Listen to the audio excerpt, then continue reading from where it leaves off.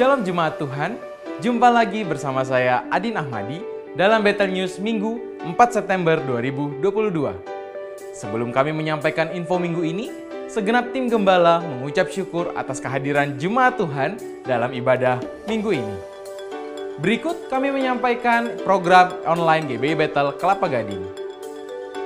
Program Pelita Hidup setiap hari Senin sampai Sabtu pukul 5 pagi melalui YouTube GBI Battle Kelapa Gading. Doa pagi GB Battle Kelapa Gading, Kedoya, dan Bekasi setiap Senin sampai Jumat pukul 6 sampai 7 pagi melalui aplikasi Zoom. Doa malam setiap hari Jumat pukul 7 malam melalui aplikasi Zoom. Menara Doa Sinode GBI setiap hari Sabtu pukul 6 sampai 7 pagi melalui aplikasi Zoom. Mari Jumat Tuhan menyembah dan berdoa bersama-sama. Selanjutnya, jadwal ibadah kategori GBI Battle Kelapa Gading.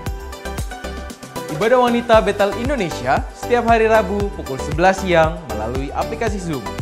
Mari kaum wanita battle memuji, berdoa, dan rasakan lawatan Tuhan bersama-sama. Ibadah BSM, Battle Senior Ministry, setiap hari Kamis kedua dan empat tiap bulannya pukul 10.30 pagi melalui aplikasi Zoom. Ibadah onsite gabungan Battle Youth dan Battle Teens diadakan tiap minggu pertama dan ketiga setiap bulannya pada hari Sabtu pukul 5 sore. Mari anak-anak muda bergabung dalam ibadah ini dan kita akan mengalami Tuhan bersama-sama. Ibadah Battle Kids setiap hari Minggu secara onsite jam 10 pagi di gereja lantai 1 dan juga melalui YouTube channel GBI Battle. Bagi jemaat yang rindu untuk melayani anak-anak Battle Kids, dapat menghubungi Saudari Laura di 0815 1861 860 atau dapat menghubungi Saudara Adin di 0852 5327 4889. Ibadah Raya Onsite GBI Battle Kelapa Gading 11 September 2022, ibadah pukul 7.30 akan dilayani oleh Pendeta Suito Hartanto. Dan ibadah 10 pagi dilayani oleh PDP Jonathan Arifin dengan tema keuangan yang sehat. Jemaat Tuhan, kami informasikan akan diadakan kelas pemuridan. Saya murid Kristus SMK Berakar. Bagi Bapak Ibu yang rindu mengikuti kelas pemuridan ini, dapat mendaftar paling lambat hari Minggu 11 September 2022. Acara dilakukan secara hybrid, online dan onsite. Pendaftaran dan info lebih lanjut dapat menghubungi Bapak David Kristianto 0812 9877 837 atau Saudara Edo 0878 8228 4310. Jemaat yang dikasih Tuhan, tim multimedia membuka rekrutmen untuk menjadi kameramen, LCD, operator, dan lighting operator. Bagi jemaat Tuhan yang rindu, melayani dan menyalurkan talenta dalam bidang multimedia, dapat menghubungi Saudara Erik di 0838 1315 4155 atau ke Saudara Adin 0852 5327 4889. Demikian Battle News minggu ini. Untuk info selengkapnya dapat saudara simak dalam aplikasi GBI Battle. Saya Adin, sampai jumpa, selamat berakhir pekan, dan Tuhan Yesus memberkati. Shalom Bapak Ibu yang terkasih dalam Tuhan. Jumpa lagi dalam ibadah online kita pada pagi hari ini. Saya percaya setiap kita mengalami kebaikan Tuhan sepanjang minggu ini. Oleh karena itu mari kita datang untuk bawa pujian dan penyembahan kita yang terbaik pada pagi hari ini. Mari sebelumnya kita satukan hati kita. Bapa yang bertata dalam kerajaan surga, Tuhan Yesus dan Roh Kudus, kami datang pada pagi hari ini Tuhan, kami mau bawa pujian dan sembah kami kepadamu ya Tuhan. Sebab begitu besar kasihmu dalam kehidupan kami. Biarlah Tuhan hadir di tengah-tengah kami, di mana pun kami berada saat ini di rumah-rumah Bapa. Kami percaya kuasamu tidak uh, dilep, dipengaruhi oleh keadaan dan di mana pun kami berada. Nikmati pujian kami Tuhan, kami siap untuk beribadah pada pagi hari ini dalam nama Tuhan Yesus. Haleluya. Amin. Mari siapkan suara dan hati kita dan kita berikan yang terbaik buat Tuhan. Mari kita masuk dalam hadiratnya.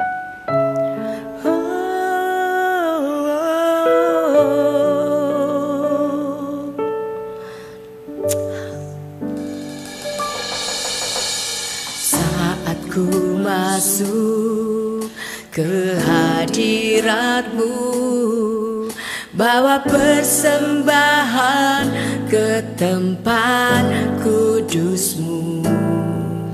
Pujian ku naikkan sembahku berikan. Bagimu Allah yang mulia.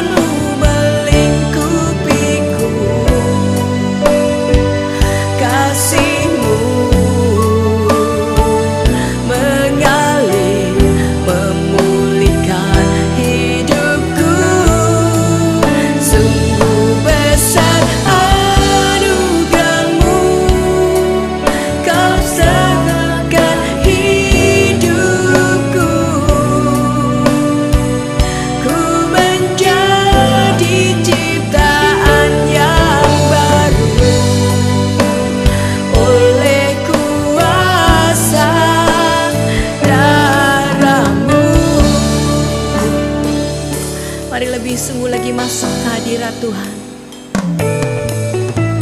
Saat ku masuk ke hadiratmu Kami bawa sembah kami Tuhan. Bahagia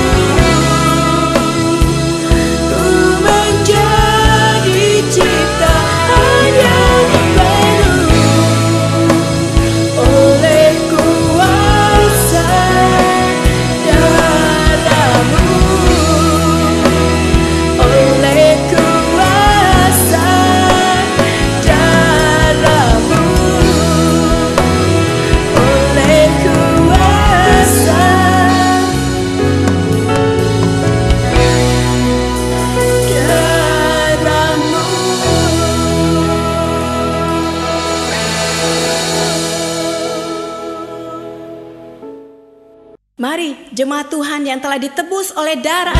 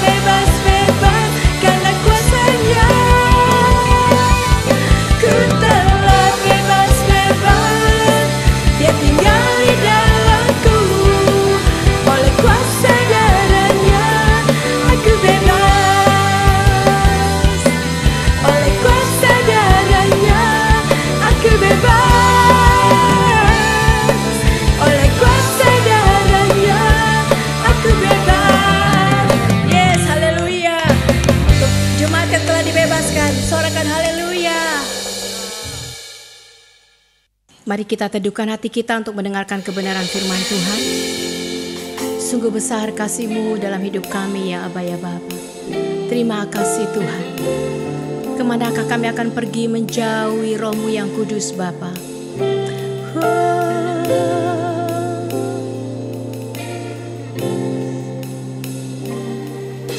Ke manakah aku dapat pergi Menjauhi rohmu yang suci Kau sahabat.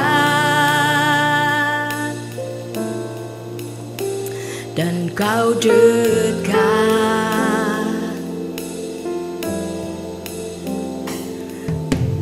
Bahkan seluruh pengabdianku Tak bisa yeah.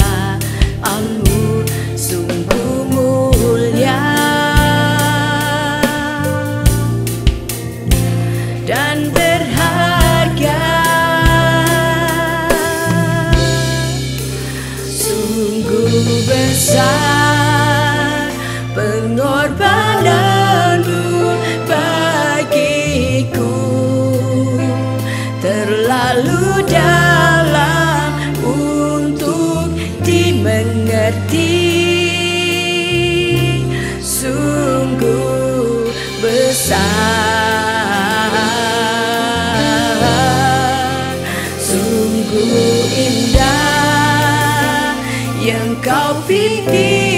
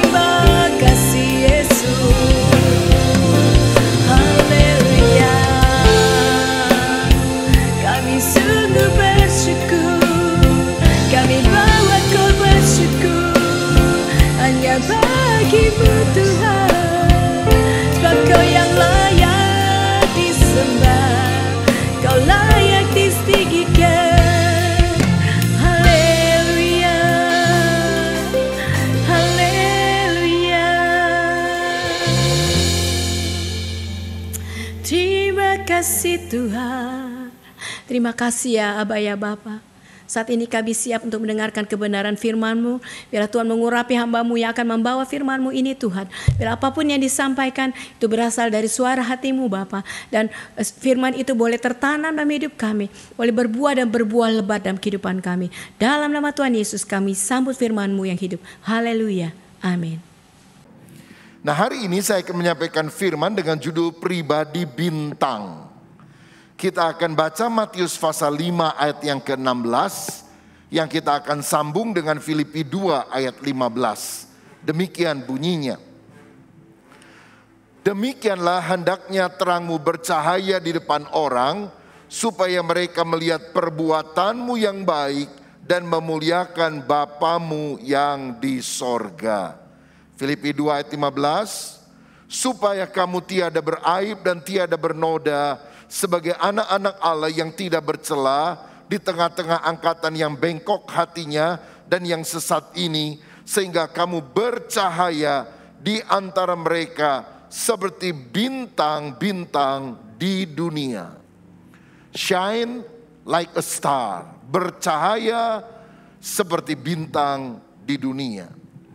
Kita sering mendengar istilah bintang lapangan, bintang pelajar, bintang kehidupan. Itu bicara tentang orang-orang dengan karakter unggul, menjadi pribadi maksimal, bukan orang yang pribadinya kerdil. Dan orang dengan pribadi bintang semacam itu bercahaya menjadi berkat bagi sesamanya. Nah kalau kita lihat gambar bintang di depan ini saudara-saudara, maka ada lima segi, tetapi di tengah ada satu yang merupakan core atau intinya. Saya memelukiskan pribadi bintang itu memiliki hal yang bagus di dalam enam bidang ini. Yang pertama hubungannya dengan Tuhan bagus, yang kedua dia punya integritas pribadi, yang ketiga dia memiliki pernikahan dan keluarga yang baik, Yang keempat dia punya kesehatan fisik yang prima. Yang kelima dia punya kesehatan emosi. Dan yang keenam dia memiliki tanggung jawab dalam bidang keuangan. Mari kita lihat satu persatu keenam aspek ini supaya kita benar-benar bisa menjadi pribadi bintang, pribadi yang maksimal, pribadi yang berkenan kepada Tuhan. Yang pertama, pribadi yang berkenan kepada Tuhan itu adalah orang yang punya hubungan dengan Tuhan.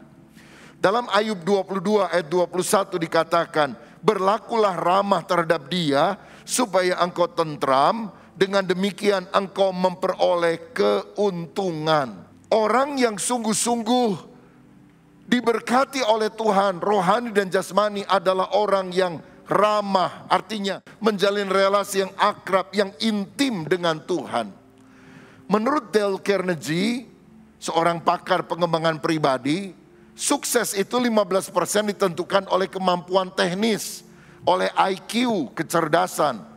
Tapi 85% kesuksesan itu terdiri dari kemampuan kita menjalin relasi atau hubungan dengan orang lain. Kalau saudara bisa menjalin relasi yang luas dan baik dengan banyak orang, potensi sukses sangat besar.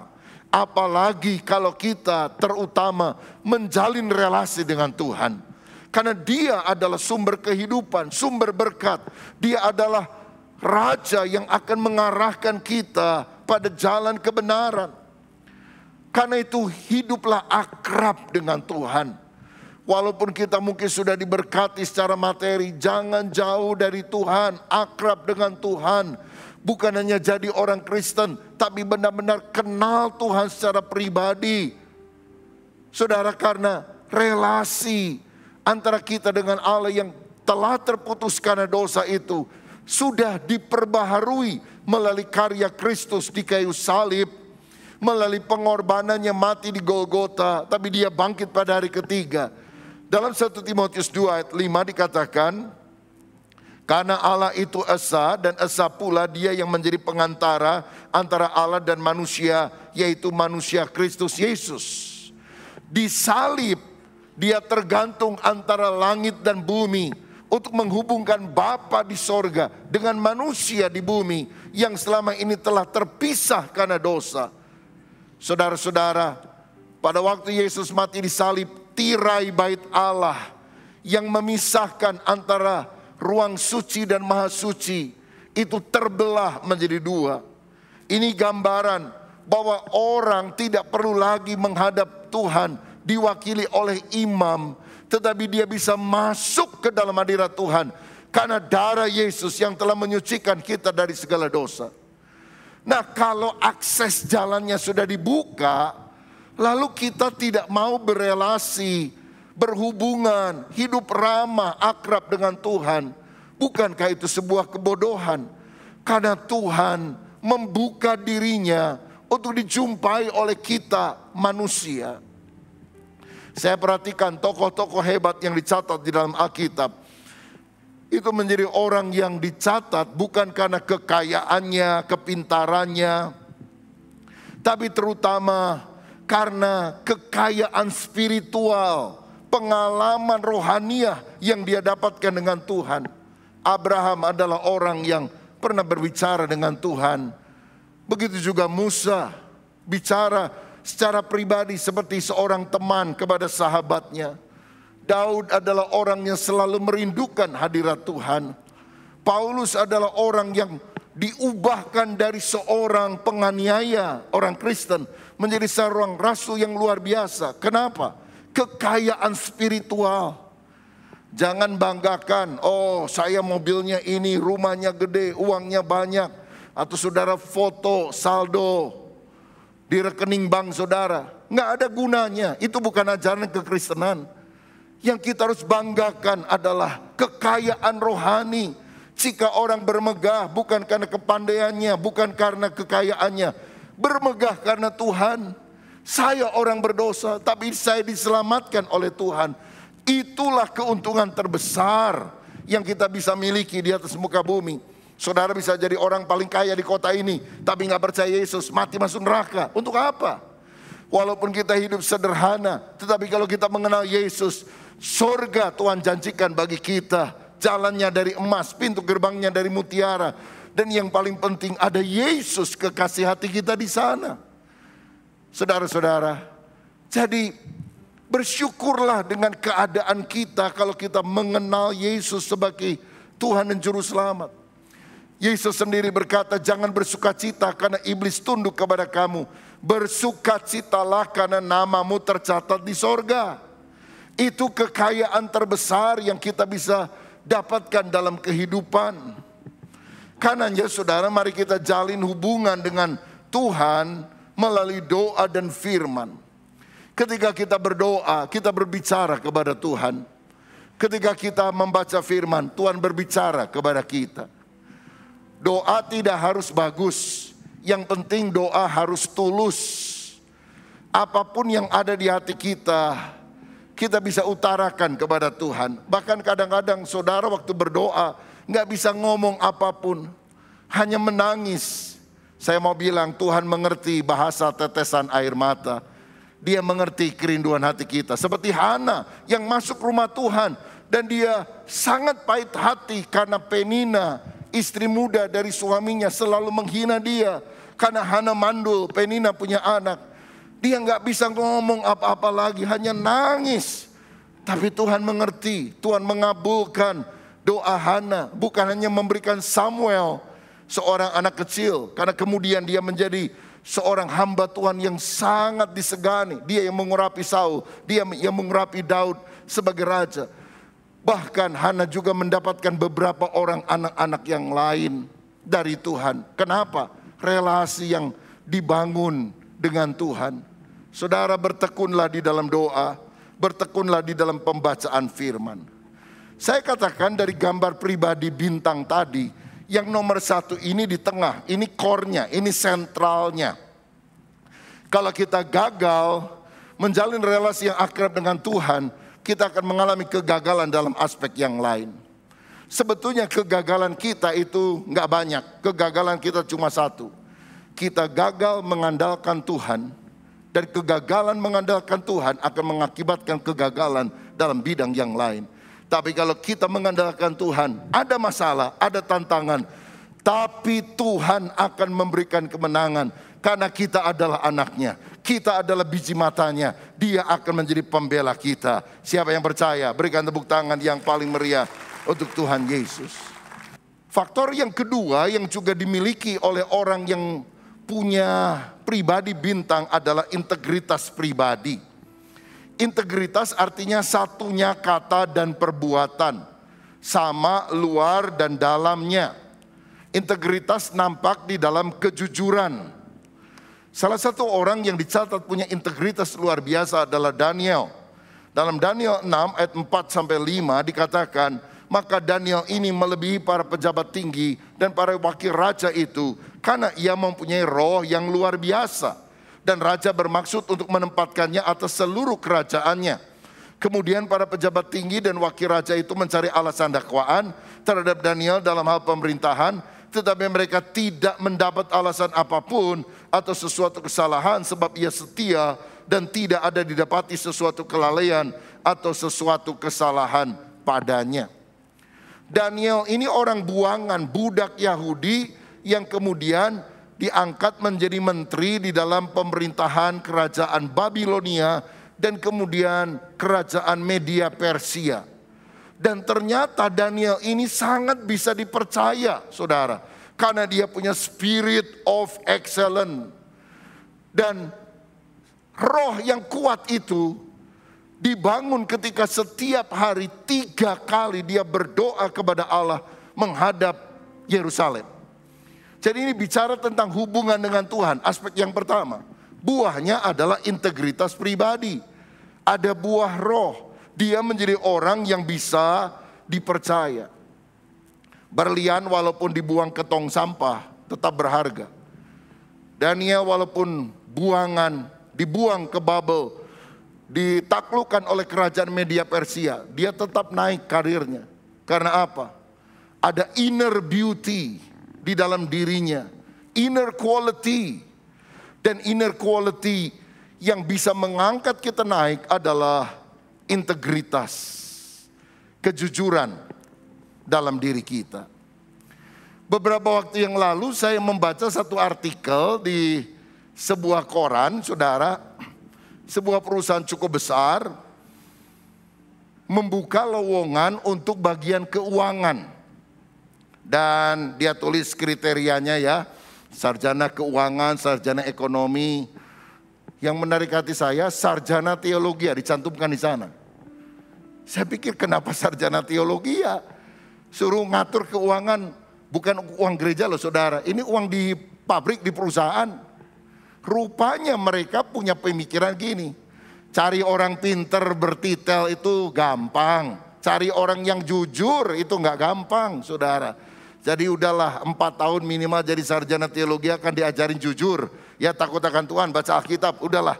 Nanti soal teknik kita atur aja belakangan. Ya caranya e, mengelola keuangan itu bisa lebih mudah diajarkan. Tapi kalau orang nggak jujur, bengkok hatinya, waduh susah. Saudara-saudara, diharapkan kita orang-orang yang rajin ke gereja jujur. Lah kita jadi orang Kristen lalu nggak jujur, tipu sana, tipu sini. Apa yang kita bisa apa yang orang bisa harapkan? Bagaimana kita bisa bersinar seperti bintang? Kejujuran adalah hal yang sangat penting, yang sangat diharapkan. Jangan sampai saudara diberhentikan dari pekerjaan karena ternyata engkau korupsi, ambil uang kantor untuk kebutuhan pribadi. Ya mungkin kau punya alasan anak saya lagi sakit, saya punya banyak kebutuhan. Itu bukan uangmu. Dan Tuhan tidak menghendaki hal itu terjadi. Integritas walaupun posisi Daniel itu posisi basah istilahnya. Dia bisa menggunakan kesempatan dalam kesempitan, tapi dia tidak pernah mau melakukannya. Dia tidak pernah merugikan pemerintahan, merugikan raja. Dibutuhkan orang semacam ini. Indonesia terlalu banyak orang pintar, bertitel, hebat dari partai mana-mana, tapi orang yang jujur itu sulit didapat. Dan kita berdoa itu muncul dari anak-anak Tuhan. Tapi kenyataan kita sering kali sedih saudara. Udah jadi pejabat tinggi, udah jadi menteri korupsi juga saudara. Korupsinya gede lagi.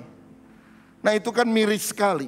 Mari kita menjadi pribadi bintang yang bercahaya di depan banyak orang. Saya ingat zaman dulu di Amerika Serikat ada orang suka jual beli kuda. Mereka ke mana-mana nggak naik mobil, mobil belum diciptakan, tapi mereka naik kuda. Satu kali ada seorang kaya datang untuk beli kuda kepada seorang penjual kuda. Ini harganya berapa bro? Ya saya jual 2000 dolar aja pak.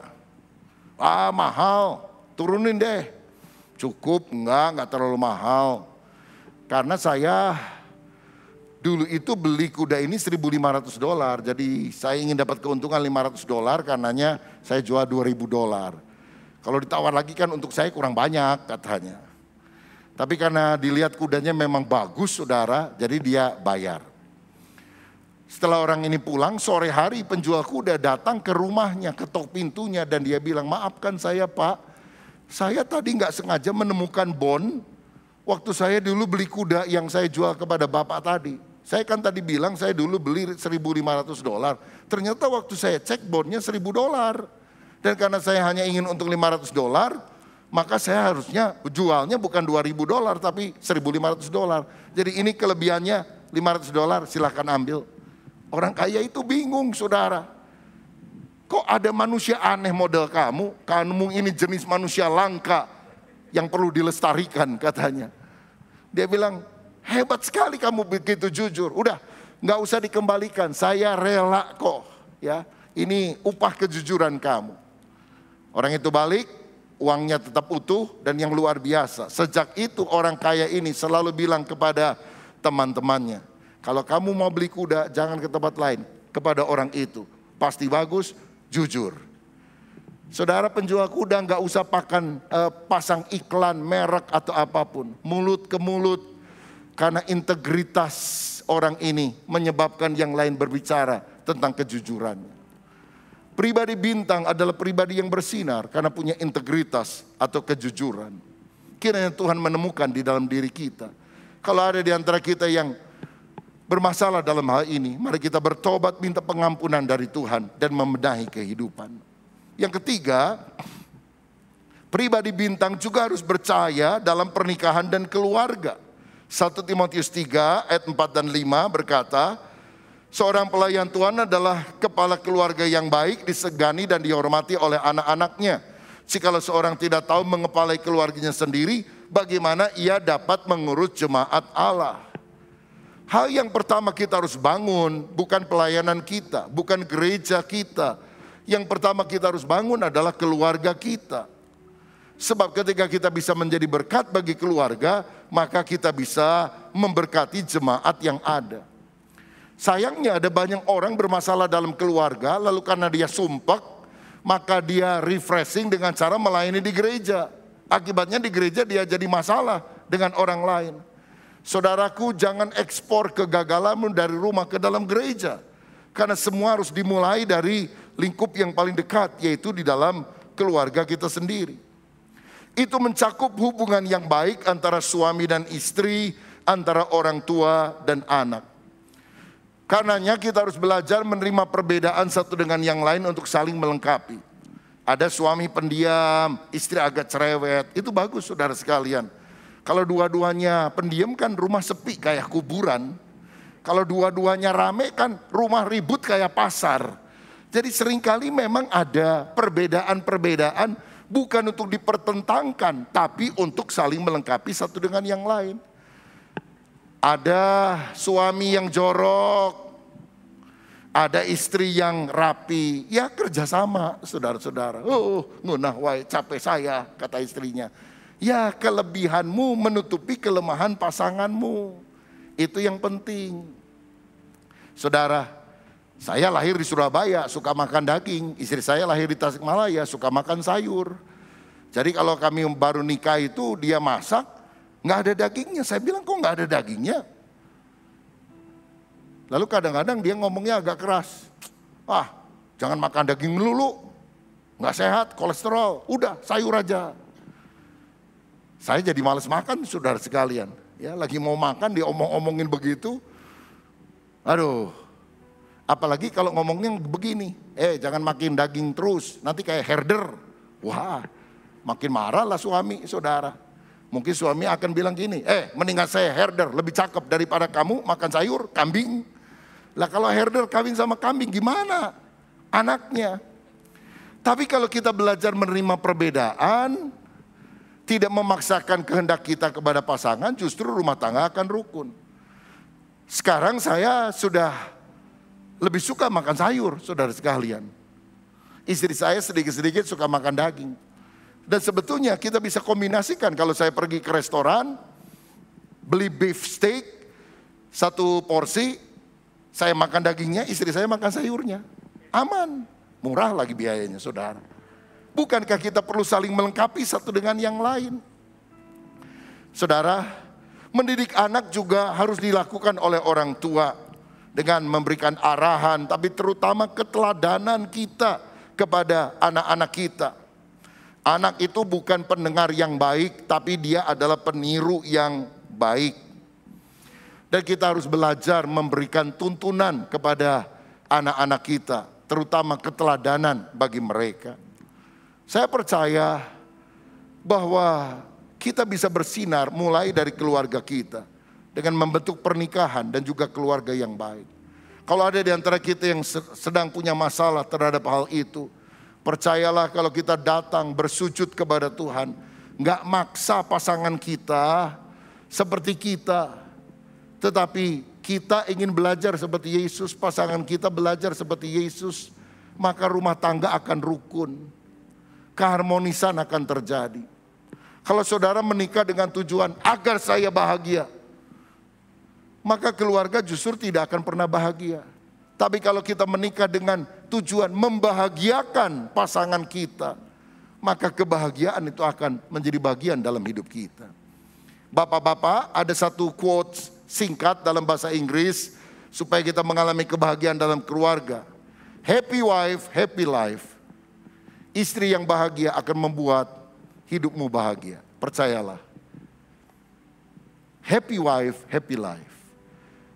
Kalau istrimu tidak happy, kelar hidup lo. Karena itu saudara belajar membahagiakan istri. Karena penentu atmosfer kebahagiaan dalam keluarga itu lebih banyak dari istri loh saudara. Bukan dari suami, suami kerja dan sebagainya. Tapi kalau istri bahagia, keluarga bahagia. Jadi bapak-bapak ya sekarang sudah mulai bisa keluar kota. Kalau pulang dari luar kota bawa oleh-oleh gitu ya, makanan kesukaannya atau apa kek ya, nggak usah gede-gede, kecil aja. Nih mah berkat, berlian, kecil gitu ya. Kan istri happy saudara, haleluya. Yang tepuk tangan pasti ibu-ibu itu saudara. Yang keempat, saudara, pribadi yang bersinar, pribadi bintang itu juga memiliki kesehatan fisik. Dalam Yosua 14 ayat 10 dan 11 dikatakan, jadi sekarang sesungguhnya Tuhan telah memelihara hidupku seperti yang dijanjikannya. Kini sudah 45 tahun lamanya sejak diucapkan Tuhan firman itu kepada Musa. Dan selama itu orang Israel mengembara di padang gurun. Jadi sekarang, ini Kaleb yang ngomong ya. Jadi sekarang telah berumur 85 tahun aku hari ini. Pada waktu ini aku masih sama kuat seperti pada waktu aku disuruh Musa, seperti kekuatanku pada waktu itu, demikianlah kekuatanku sekarang untuk berperang dan untuk keluar masuk.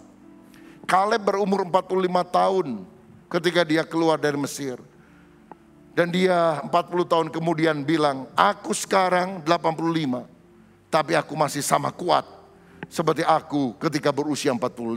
Wih, luar biasa. Ini ada engkong umur 85 tapi spiritnya menyala-nyala seperti anak muda. Saya kadang lihat ada anak muda usia 20 30 tahun, spirit udah engkong-engkong, saudara-saudara. Aduh, kalau ngomong negatif melulu, nggak ada pengharapan, diam aja, ngelamun aja, nggak produktif hidupnya kesehatan fisik adalah sesuatu yang kita juga harus jaga, saudara. Saudara tahu, Daud adalah orang yang hebat mengalahkan seorang raksasa bernama Goliat. Tapi yang dikalahkan Daud sebetulnya cuma satu raksasa. Sedangkan Kaleb minta izin kepada Yosua, berikan Hebron kepadaku. Aku akan taklukkan Hebron. Pada di Hebron itu tinggal bangsa enak, yaitu keturunan raksasa. Jadi satu kampung raksasa semua. Daud cuma menghadapi satu raksasa. Kaleb satu kampung raksasa semua. Bapak raksasa, ibu raksasa, anak raksasa, tetangga raksasa, adik raksasa, famili raksasa. Dia bilang, aku 85, aku sanggup. Jangan kasih tugas ini untuk anak muda. Nanti mereka kalah, aku saja. Wih, ada orang sehebat begini. Saudara, walaupun ada yang sudah lanjut usia, semangat tetap harus menyala-nyala untuk kemuliaan Tuhan. Kaleb umur 85 tapi gagahnya luar biasa. Tahukah saudara, Kolonel Sanders berhasil menemukan resep Kentucky Fried Chicken dan menjadikannya waralaba atau franchise ketika dia berumur 70 tahun. Ray Kroc menemukan hamburger yang diberi nama Big Mac untuk McDonald ketika umurnya juga 70 tahun. Pablo Picasso, pelukis yang ternama itu yang nilai lukisannya sangat mahal, masih melukis sampai 88 tahun. Thomas Alva Edison pada usia 85 tahun menciptakan mesin dengan nama mimeograf. Kita jangankan menciptakan mesin, mimeograf juga nggak tahu apa artinya, saudara. John Wesley, pengkhotbah dari Inggris, pendiri gereja metodis, itu masih khotbah ke mana-mana. Naik kuda dari satu kota ke kota yang lain di usia 88 tahun. Inilah orang-orang yang menjaga stamina kesehatan fisiknya. Karena itu kita perlu menjaga stamina fisik kita. Supaya kita bisa melayani untuk kurun waktu yang lebih panjang. Karena itu saudara, mari kita jaga kesehatan. Atur pola makan yang sehat olahraga yang teratur, istirahat yang cukup, jangan tidur terlalu malam. Dan kalau kita mengatur irama yang baik, kita akan lebih sehat. Yang kelima, saudara sekalian, Kita juga harus memiliki kesehatan emosi. Efesus 3 ayat 31 32 Segala kepahitan, kegeraman, kemarahan, pertikaian dan fitnah hendaklah dibuang dari antara kamu, demikian pula segala kejahatan. Tetapi hendaklah kamu ramah seorang terhadap yang lain, penuh kasih mesra dan saling mengampuni sebagaimana Allah di dalam Kristus telah mengampuni kamu. Semua yang buruk buang dari hati kita. Saudara nyimpen deposito uang di bank boleh, tapi jangan nyimpen kepahitan di hati. Segala kepahitan, kegeraman, kemarahan, pertikaian, fitnah dibuang. Tapi hendaklah kamu ramah, penuh kasih mesra, saling mengampuni seperti Kristus telah mengampuni kita. Mari kita hidup di dalam kasih dan sukacita. Hati yang gembira adalah obat yang manjur. Miliki hobi, punyai banyak teman, tamasya ke alam. Jangan pahit hati, khawatir, sibuk terus dalam hidup ini. Miliki kesehatan emosi yang baik. Kalau saudara tiap hari bawanya sumpek marah-marah, baru bangun tidur rasanya mau ngamuk aja.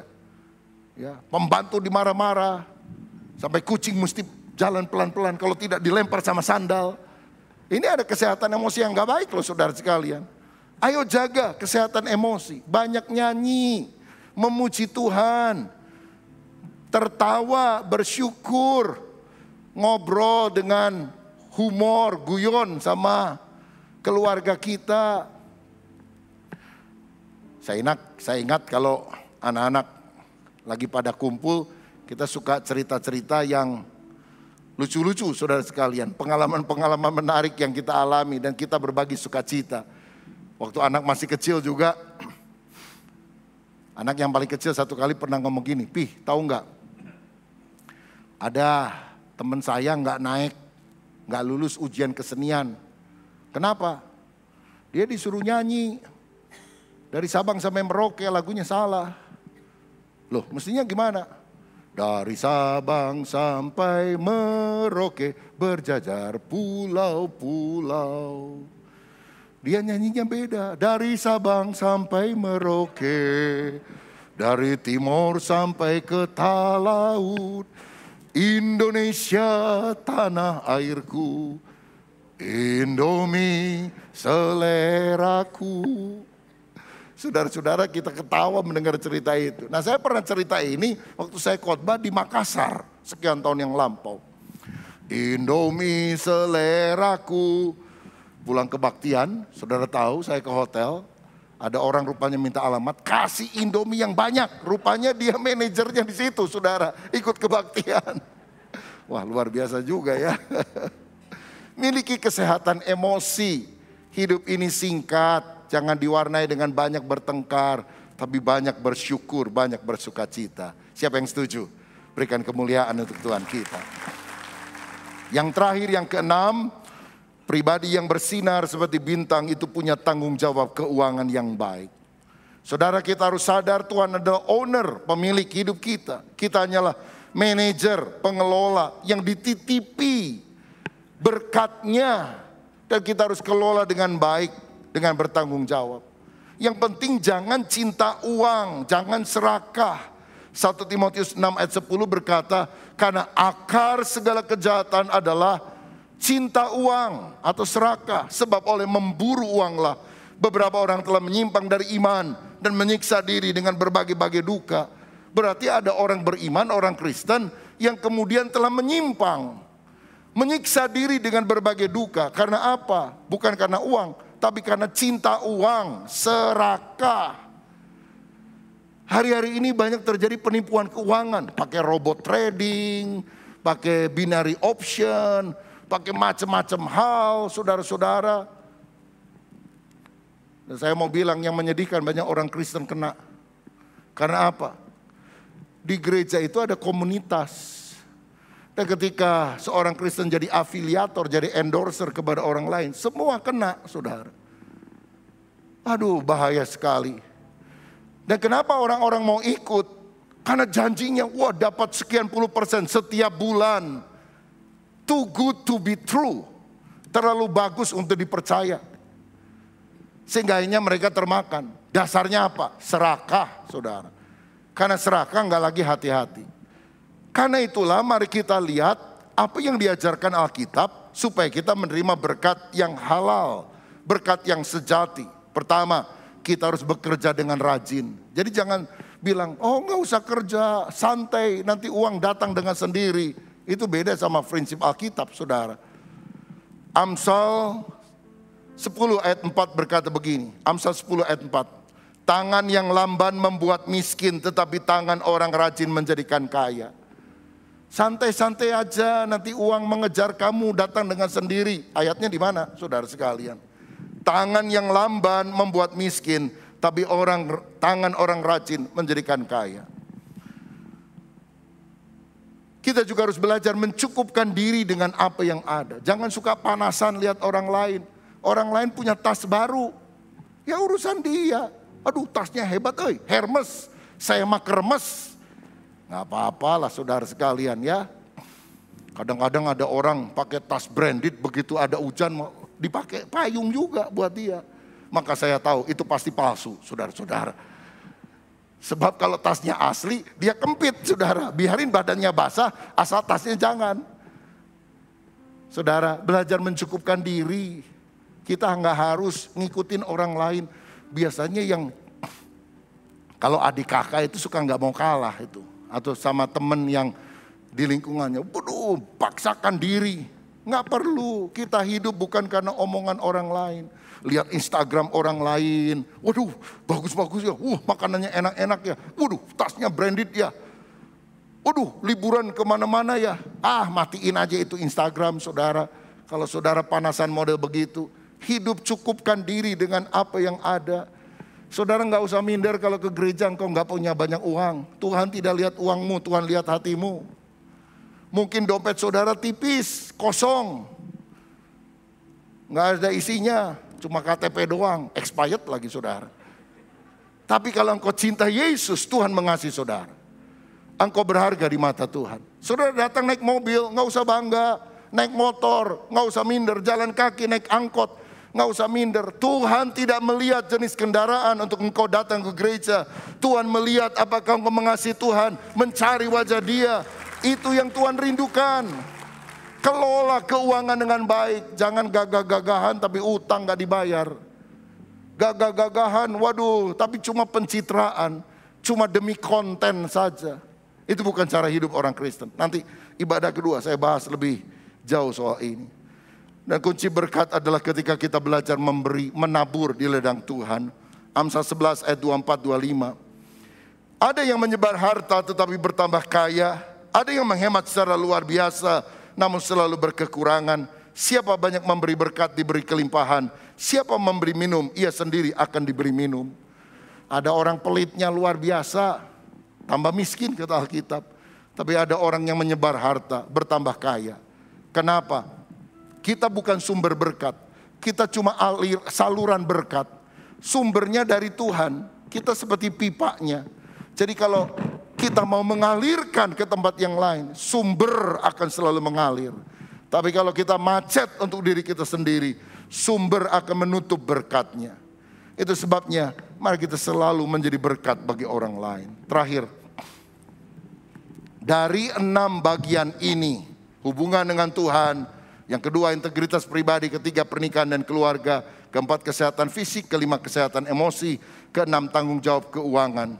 Dari enam segi kehidupan yang saya sudah bahas ini, coba renungkan bagian mana yang paling lemah dan tidak bersinar dalam kehidupan kita. Kalau kita tahu ada satu dua segi kehidupan yang lemah, tidak bersinar. Apakah saudara hari ini mau punya komitmen untuk memperbaiki diri? Sehingga kita berkata, sehingga kamu akan bercahaya seperti bintang-bintang di dunia. Saudara jadilah pribadi bintang, pribadi maksimal, pribadi unggul untuk kemuliaan nama Tuhan. Karena dia telah menciptakan kita sebagai peta dan teladan Tuhan. Gambar dan rupa Tuhan. Dan biarlah kita memancarkan kemuliaannya kepada orang yang ada di sekitar kita. Tuhan Yesus memberkati kita semuanya.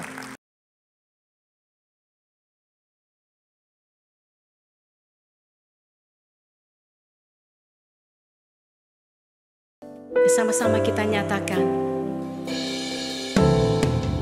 Telah kulihat bukti kasihmu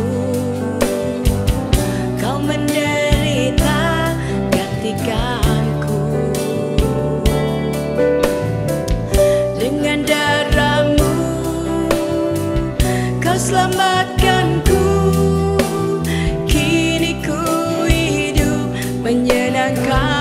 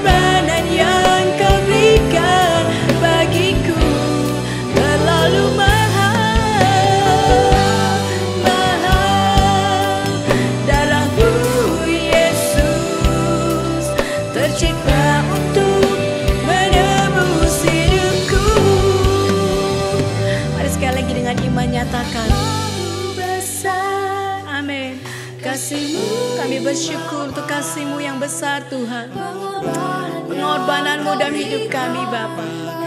Terima kasih, terima kasih Tuhan. Terlalu mahal Darahmu Yesus Tercurah untuk menebus hidupku. Mari lebih lagi nyatakan dengan iman. Terlalu besar kasihmu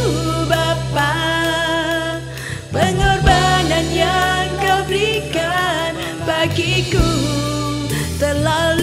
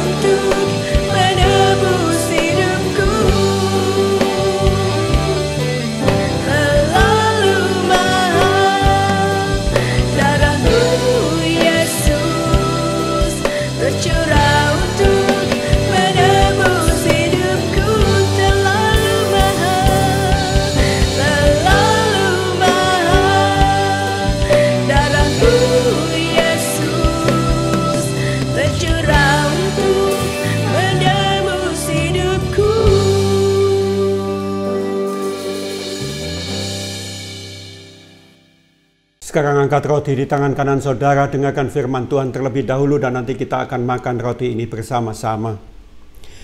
Sebab apa yang telah kuteruskan kepadamu telah aku terima dari Tuhan, yaitu bahwa Tuhan Yesus pada malam waktu ia diserahkan mengambil roti.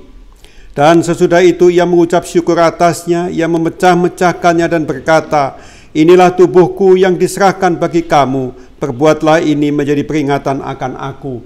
Saudara sekalian percayakah saudara bahwa roti yang telah diberkati ini adalah persekutuan kita dengan tubuh Kristus? Mari kita makan bersama-sama dalam nama Yesus.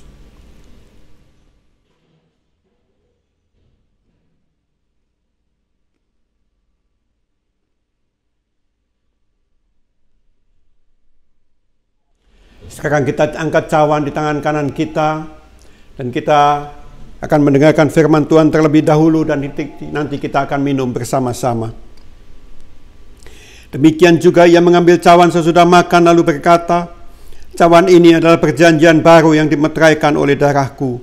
Perbuatlah ini setiap kali kamu meminumnya menjadi peringatan akan aku. Saudara sekalian percayakah saudara, cawan anggur yang telah diberkati ini adalah persekutuan kita dengan darah Kristus? Mari kita minum bersama-sama dalam nama Yesus.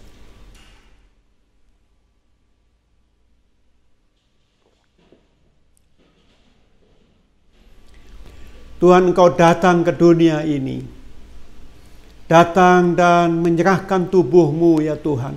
Mati di kayu salib demi untuk menebus segala dosa-dosa kami. Kami mengucap syukur untuk kasihmu atas kami ya Tuhan. Terima kasih pagi ini kami boleh menikmati roti dan anggur perjamuan ini ya Tuhan. Dan biarlah kiranya ya Tuhan. Roti dan anggur ini menjadi persekutuan yang indah dengan tubuh dan darahmu ya Tuhan. Terima kasih Bapa, terima kasih Tuhan. Terima kasih Tuhan. Biar lanjutkanlah kasih karuniamu atas kami semua. Biar sepanjang umur hidup kami ini, kami boleh berjalan bersama-sama dengan Engkau. Terima kasih Bapa. Di dalam nama Yesus kami berdoa. Haleluya.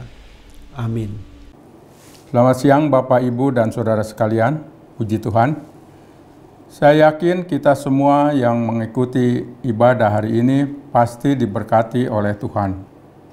Pengharapan kita kepadanya tidak akan sia-sia, karena di dalam Kristus ada kepastian.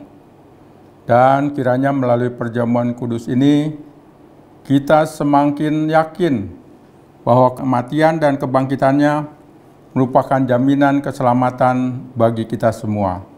Haleluya!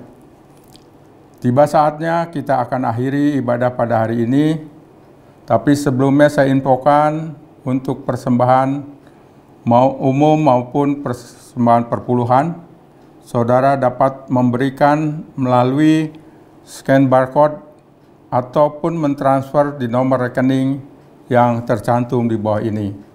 Kiranya Tuhan memberkati dan mari kita akhiri ibadah hari ini dan saya akan berdoa. Tuhan kami bersyukur atas kasih-Mu kalau hari ini kami boleh beribadah walaupun secara online dan ibadah ini telah berlangsung. Kami telah menerima firman-Mu dan kami menerimanya dengan penuh kasih-Mu ya Tuhan karena kami percaya Engkau akan memeliharakan kami di dalam kehidupan kami saat ini Tuhan. Terima kasih Tuhan atas kasih-Mu yang besar. Tugas kami berdoa untuk persembahan jemaat. Nah, kiranya Tuhan melipat gandakan berkat yang ditabur dari para jemaat. Tuhan kami juga berdoa bagi pemerintah dan bangsa kami Indonesia.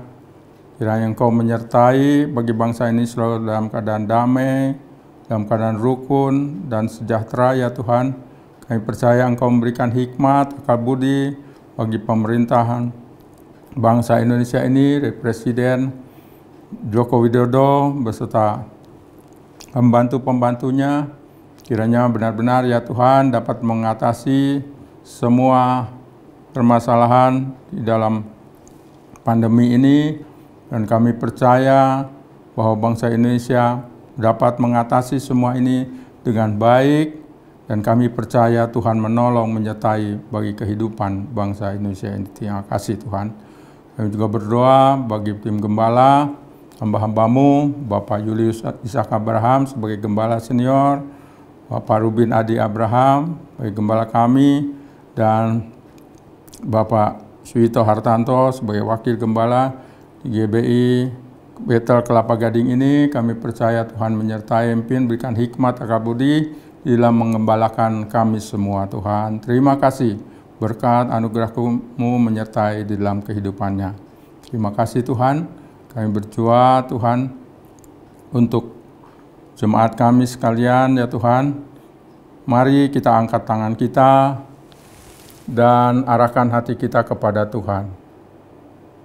Terimalah berkat anugerah dan kasih daripada Allah Bapa, kasih sayang dari Tuhan Yesus Kristus, penyertaan dan penghiburan dari Roh Kudus yang menyertai kita sejak saat ini sampai kedatangan Tuhan yang kedua kali, bahkan sampai selama-lamanya. Mari kita yang percaya katakan amin. Sungguh